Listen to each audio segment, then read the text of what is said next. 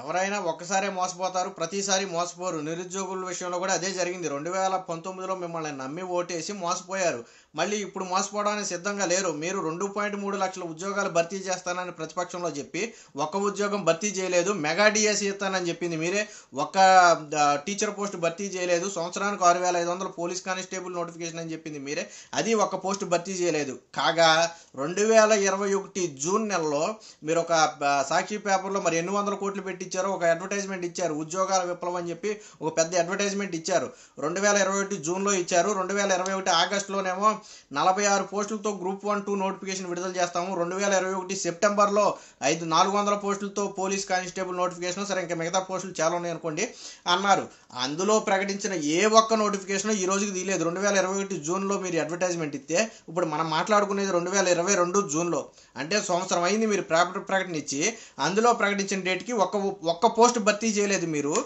ఈ రోజు మళ్ళీ అది కాక ఇప్పుడు రేషనైజేషన్ పేరుతో మీరు ప్రతిపక్షంలో ఉండగా మెగా డిఎస్సీ చేస్తానని చెప్పి ఇప్పుడు పోస్టులు లేకుండా చేశారు. రేషనైజ్ మీరు ప్రపంచ బ్యాంక్ దగ్గర అప్పు తెచ్చుకుని దాని షరతులకు తలొగ్గి ఇప్పుడు నిరుద్యోగులకు వెన్నుపోటు పొడిచారు. దాని షరతులు ఏంటి? ఉపాధ్యాయ పోస్టులు భర్తీ చేయకూడదు ఉన్నోళ్ళ శాలరీలు పెంచకూడదు. మీరు దానికి ఒప్పుకుని అప్పు తెచ్చుకున్నారు. అప్పుడు దానికోసం ఏం చేస్తున్నారు? రేషనలైజేషన్ అనే ఒక తెర మీదకి తీసుకొచ్చి రేషనలైజేషన్ని విద్యార్థులను ఉపాధ్యాయులను మొత్తాన్ని క్లమ్జీ చేసేసి ఉపాధ్యాయ పోస్టులు మిగిలి చూపిస్తున్నారు. అంటే ఏంటి? నిరుద్యోగులకు ఉద్యోగాలు లేవు ఉన్న పోస్టులే మిగిలిపోయి ఏం చేయమంటారని చెప్తున్నారు మీరు. ఇది నిరుద్యోగులు వెనుపోటు పడవటం కాదా? మీరు మెగా డిఎస్సీ తీస్తానని ఎందుకు చెప్పారు ప్రతిపక్షంలో? రెండు పాయింట్ మూడు లక్షల ఉద్యోగాలు భర్తీ చేస్తానని ఎందుకు చెప్పారు? మాట తప్పను మడమ తప్పనని చెప్పింది మీరే కదా. మరి అది మీరు చేసిన తప్పు కదా? ఏదో నిన్న మొన్న మాట్లాడుతుంటే చూశాను. అసలు చే ఇచ్చిన హామీని నెరవేర్చకపోతే అసలు అన్నం ఎలా తింటారు బాధ ఉండదా అని ఏదో స్టేట్మెంట్ చూశాను. మరి మీరు అన్నం ఎలా తింటున్నారో మీరు ఎలా నిద్రపోతున్నారో మాకైతే అర్థం కావట్లేదు. టెన్త్ క్లాస్ విద్యార్థుల ఫలితాలు పడిపోవడానికి కూడా కారణం పూర్తిగా జగన్మోహన్ రెడ్డి గారి ప్రభుత్వమే. ఏ రోజు ఉపాధ్యాయులను పని చేయనివ్వలేదు. బాత్రూముల దగ్గర కాపలా పెట్టారు మద్యం షాపుల దగ్గర కాపలా పెట్టారు నాడు నేడు పనులు అన్నారు. ఇప్పుడు వందల కోట్లు స్కామ్లో ఇరుక్కుపోయిన బైజూస్తో ఒప్పందం కుదుర్చుకున్నారు. అది స్కామ్ అని దేశం మొత్తానికి తెలుసు. మరి జగన్మోహన్ రెడ్డి గారికి ఎందుకు తెలియలేదో మరి ఈయన కూడా స్కాముల్లో ఉన్నాడు కాబట్టి వాళ్ళకి వాళ్ళకి ఏమైనా దోస్తి ఉందేమో కానీ దానివల్ల ఎటువంటి ఉపయోగం లేదని చెప్పి ఆల్రెడీ కోర్టులో కేసు వేశారు. అది ఇప్పుడు నేను చెప్తున్న మాట కదా? ఈ రికార్డ్స్ చెప్తున్నాయి. మరి అదే ప్రభుత్వంతో ఒక గంట ఆన్లైన్ క్లాసుల కోసం బైజూస్తో ఒప్పందం కుదుర్చుకున్నారంట.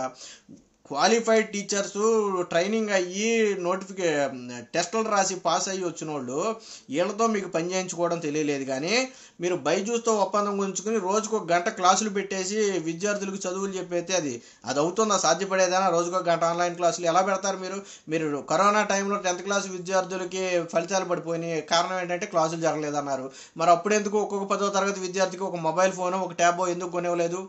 ఇప్పుడు బైజూస్తో ఒప్పందం కుదుర్చుకుని ఒక్కొక్క విద్యార్థికట నాలుగు లక్షల డెబ్బై వేల రూపాయల ట్యాబ్ ఇస్తారట. సాధ్యపడేదని నవ్వుతున్నారు. బయట నాలుగు లక్షల డెబ్బై రూపాయలు ట్యాబ్ ఇస్తారు మీరు. అది అవుతుంది అసలు? ఒకవేళ మీరు ఇచ్చిన అందులో నాలుగు లక్షల యాభై వేలు స్కామ్ అవుద్ది ఇరవై వేలు ట్యాబ్ అవుద్ది.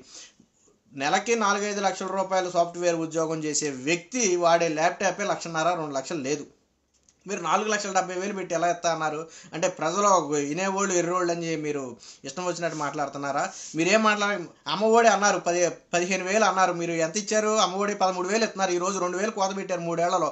ఇంకో ఏడు అయితే ఇంకో రెండు వేలు మూడు వేలు కోత పెడతారు మీరు. ఇద్దరు పిల్లలకైనా ఇస్తాను అన్నారు మీరు. ఇప్పుడు ఎంతమందికి ఇస్తున్నారు ఒక పిల్లవాడికి ఇస్తున్నారు మీరు.